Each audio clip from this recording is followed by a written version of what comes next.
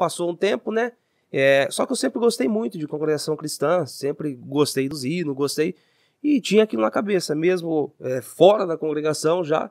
Quando eu conheci minha esposa, eu tinha isso na cabeça. Se tiver um lugar para me ir, o único lugar que vai me salvar, o único lugar que vai me levar é dentro da congregação. Já tinha essa crença, né? Não, Impressionante, tinha, né? Tava instaurado. Já instala logo quando criança, né? E a família sempre falando, eu nunca.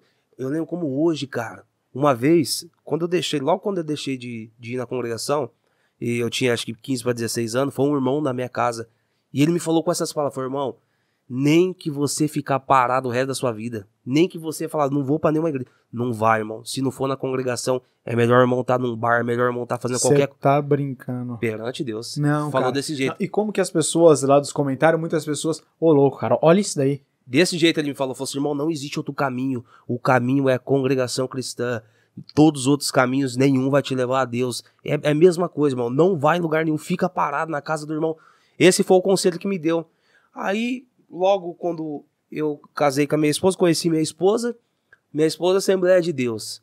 Falei, poxa, já, já começamos uma parada dura, né? E eu tentando colocar na cabeça dela que não existe outro caminho. E eu tinha vontade de voltar para a igreja, só que ela já um pouco, uma, uma visão mais aberta, mais ampla, falou, não, não é assim e tal, e começou a me mostrar na palavra, na Bíblia.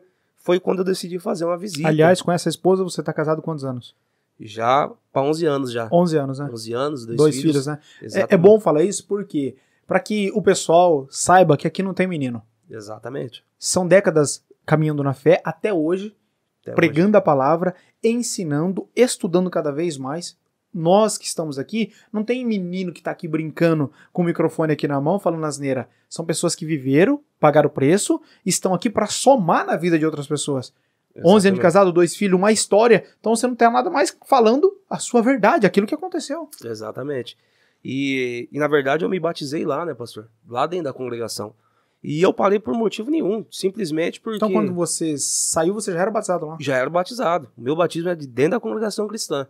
E com essa crença aí, e aí quando eu decidi voltar, né, eu parei, apenas fiquei ausentado. Quando eu decidi voltar, eu já casei com a minha esposa, aí quando eu fiquei sabendo de tudo isso, já sabia meio por, meio por cima, não queria acreditar, fui buscar a fundo e realmente ele saiu. Os irmãos falou, se você voltar, você tem que passar por um período, você não pode, vai ficar restrito a algumas coisas, de chamar hino, ou seja, o, o perder da liberdade que eles falam, né?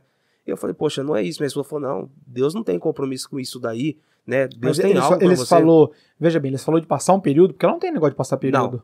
De não período, tem. não. Falou que era pra ir congregando, esperando em Deus. Essa é, ó, só, só não, né, continua nessa vertente aí, mas é o seguinte, Michael.